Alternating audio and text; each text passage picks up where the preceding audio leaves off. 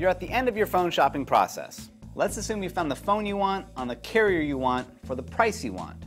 But before you make your purchase and possibly sign a two-year contract, here are some things to consider. If you're about to buy a smartphone, really ask yourself if you're going to use all of those features. If all you need is something for calls and texts, going with a feature phone could take a healthy chunk off your monthly payments.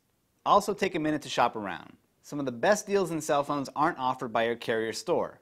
Call around, also check the usual places online, Amazon, Best Buy, Walmart, eBay.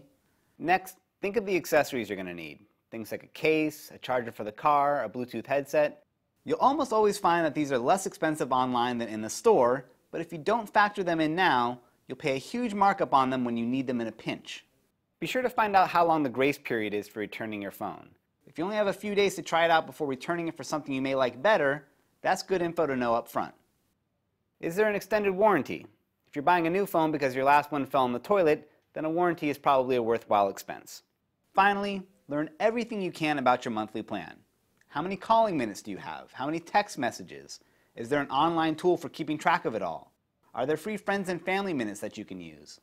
What are the roaming charges if you use the phone on that vacation to Mexico you were planning? Even if your phone was free, the penalty for not understanding the details of your monthly plan can be hundreds of dollars in unintended fees or paying for features that you're never going to use.